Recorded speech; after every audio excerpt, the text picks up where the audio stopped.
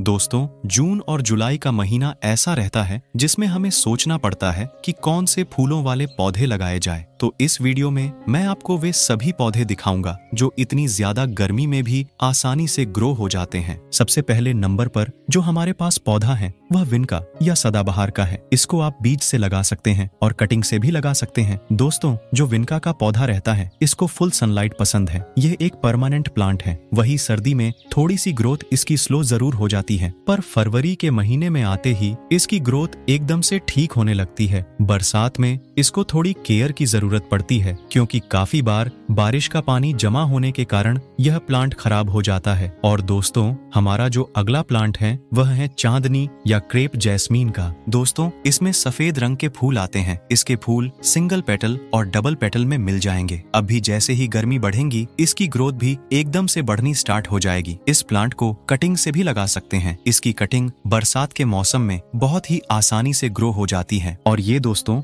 हमारा next plant है, इसका नाम है अपराजिता। इसमें भी बहुत सारे रंगों के फूल आते हैं। इस पौधे में आपको ब्लू, पिंक व्हाइट बहुत सारे कलर ऑप्शन मिल जाएँगे। इनके फूल सिंगल पेटल और डबल पेटल आते हैं। आठ इंच के गमले में इनको हम लगा सकते हैं। ये एक तरह की बेल है तो इसके साथ सपोर्ट वगैरह देने के साथ ये और ज़्यादा अच्छे से बढ़ेगी। इसको सीड से बहुत ही आसानी से लगाया जा सकता है। आप इसकी पौध नर्सरी से भी लेकर लगा सकते हैं। बहुत ही सस्ते में आपको मिल जाएगी। लगभग 20 से 25 रुपए में आपको एक पौधा इसका मिल जाता है। दोस्तों, हमारा जो अगला प्लांट है, इसका नाम है गंधराज या गार्डेनिया। इसके फूल सफ़ेद रंग के आते हैं और मेरा भी यह एक तरह का फेवरेट प्लांट है और इसमें दोस्तों बहुत अच्छी खुशबू आती है। इसके बाद नेक्स्ट प्लांट है मॉर्निंग ग्लोरी का। इसमें नीले, बैंगनी, गुलाबी और सफ़ेद रंगों के खूबसूरत फूल खिलते हैं। मॉर्निंग ग्लोरी को ऐसे स्थान पर लगाए जहाँ दिन भर की धूप मिलती रहे। मॉर्निंग ग्लोरी के पौधे को अच्छी ड्रेनेज वाली मिट्टी काफ़ी पसंद है। इसलिए ऐसी मिट्टी तैयार करें जिसमें पानी ज़्यादा देर तक होल्ड ना हो। मॉर्निंग ग्लोरी को बीज से ग्रो करना चाहते हैं तो इसके बीज मार्च अप्रैल तक लगा ले। अभी बीज लगाने का टाइम खत्म हो गया है तो आप इसकी पौध नर्सरी से लाकर लगा सकते हैं। और दोस्तों,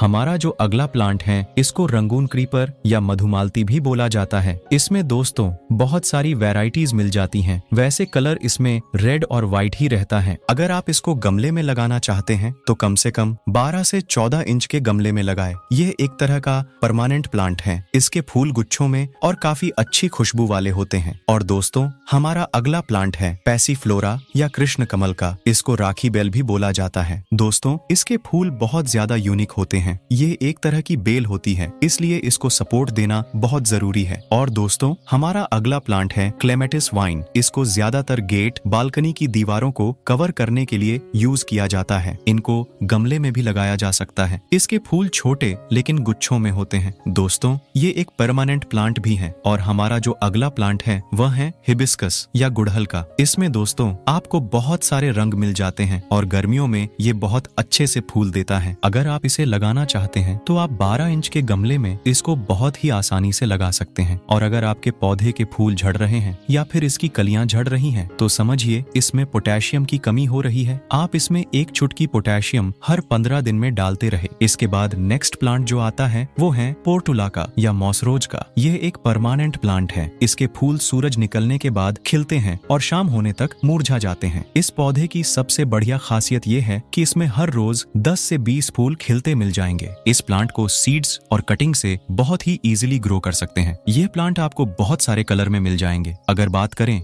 इसकी प्राइस की तो ये 10 से 20 रुपए में मिल जाते हैं। उम्मीद करते हैं दोस्तों, आपको यह वीडियो पसंद आई होगी। मैंने आपको वे सभी पौधे बताए हैं जो अभी आप लगा सकते हैं। कमेंट में बताइएगा, आपको इनमें से कौन सा पौधा सबसे बढ़िया लगा? और चैनल को ज़रूर सब्सक्राइब करें। Daddy.